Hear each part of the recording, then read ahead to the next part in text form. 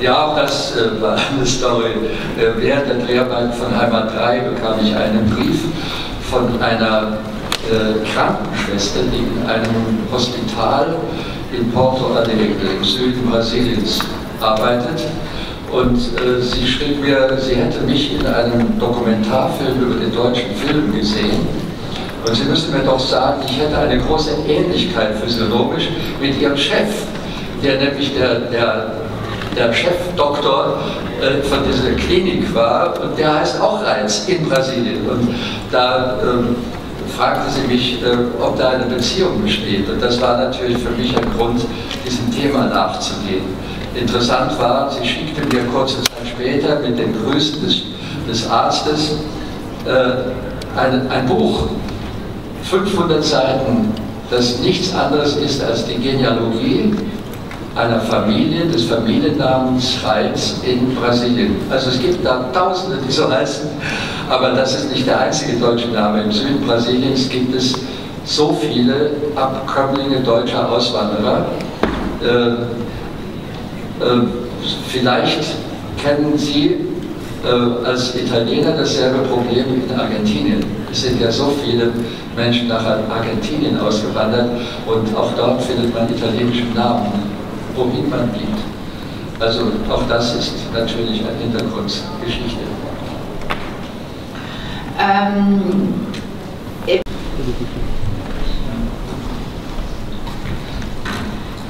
wenn wir einen Film machen über das Leben der Reichen und Mächtigen, äh, finden wir die Zeugnisse ihres Lebens überall. Die Schlösser und Paläste sind erhalten und die Filmteams filmen ja überall in diesen wunderbaren Locations. Wenn wir über das Leben der armen Menschen erzählen wollen, dann finden wir nichts. Denn sie haben nichts hinterlassen. Und meist war es ja so, dass sie bereits in der nächsten Generation ihre Häuser abgerissen haben und ihre, ihre Gebrauchsgegenstände erneuert. Es ist ja ganz klar, wenn man arm ist, hat man nichts zu vererben, auch an seine eigene Zukunft nicht. Und dieser Verlust aller Dinge, die wir in die Hand nehmen, war ein großes Thema für mich geworden. Denn wer sagt uns, ob wir heute reich sind oder arm? Auf jeden Fall habe ich das Gefühl, dass die nächste Generation eigentlich nur Müll findet von uns. Äh, kaum etwas können wir unseren Kindern vererben. Kein iPhone, kein Computer, nichts von den begehrten, heiß begehrten Gegenständen unserer Zeit. Und dann sagen wir, das sei unsere Freiheit, alles dieses zu besitzen. Es gibt offensichtlich doch noch eine andere Frage und diese Frage schwebt doch mit in unserem Film.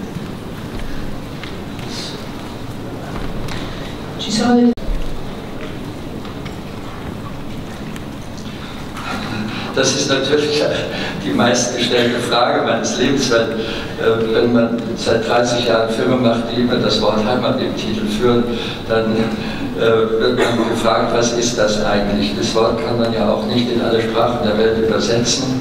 Es ist ein sehr deutsches, sehr typisch deutsches Wort. In diesem Wort schwebt auch etwas von diesem deutschen Romantizismus äh, auch dem Literarischen äh, mit. Und es ist auch in diesem Wort immer eine Melancholie enthalten, ein Element des Verlustes. Ähm, für mich ist es ein politischer Gegenstand, weil das, was Heimat im ganz konkreten politischen, gesellschaftlichen Sinne bedeutet, ist etwas völlig anderes. Das ist etwas, was wir in der Regel in unserem Leben auch hinter uns lassen. Denn in dem Maße, wie wir uns entfalten, individuell, persönlich, verlassen wir die Heimat. Es ist die Welt der Kindheit, es ist die Welt der geschichtlichen Traditionen, die in jeder Familie äh, unbewusst weitergereicht werden. Diese Welt verlassen wir. Und äh, das können wir auch äh, in der heutigen globalisierten Welt äh, nicht ersetzen durch irgendetwas anderes. Aber ich bin da jetzt nicht selbst so ein Melancholiker, denn ich meine, äh, dieser Verlust ist auch natürlich. Wir äh, ziehen immer größere Kreise um unsere Geburt. Und das ist das, was wir eigentlich unsere individuelle Entwicklung nennen. Ähm, die ist das Gegenteil zur Heimat, das muss man auch wissen. Äh, trotzdem ist die Erinnerung etwas, was eine starke emotionale Kraft in uns auslöst. Ich denke, ohne diese Erinnerung ähm, wären wir vielleicht nicht stabil genug, um die, äh, die Herausforderungen der Welt zu ertragen. Also da ist immer ein Stück des, äh, der Seele äh, in unserer Erinnerung enthalten und dafür äh, erzähle ich auch meine Geschichten. Denn man kann das nicht abstrakt vermitteln, das kann man nur durch das Erzählen, durch das Erzählen von Geschichten weiterreichen.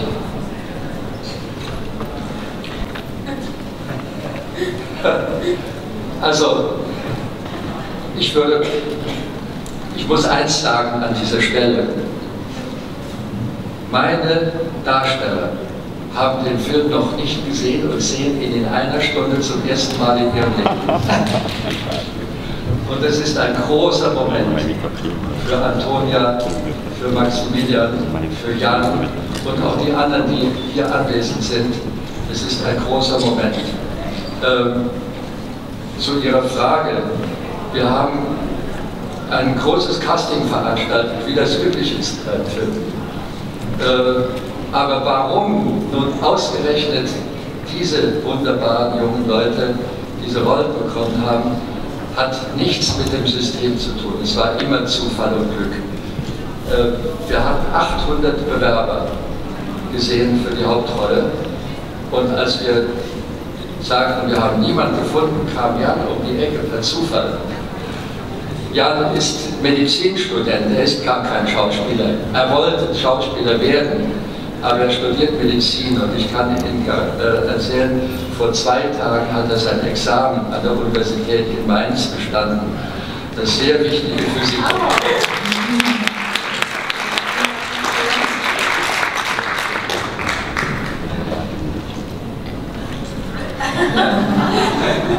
Se vuoi raccontarci anche questa tua prima insolita esperienza come attore, se pensi di continuare o di fare il medico e basta.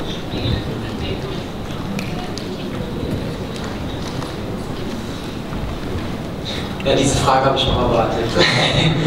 nee, also ähm, mir fehlt einfach noch so, dass der Film, ich muss ihn noch erst sehen, ich habe das Ergebnis noch gar nicht gesehen.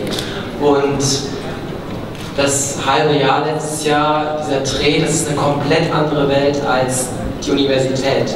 Also der Alltag eines Medizinstudenten sieht meistens so aus, dass er in irgendwelchen Vorlesungen sitzt und lernt und Gruppen hat und der Filmalltag sieht auch so aus, dass jeder Tag anders ist, jeder Tag eine Überraschung.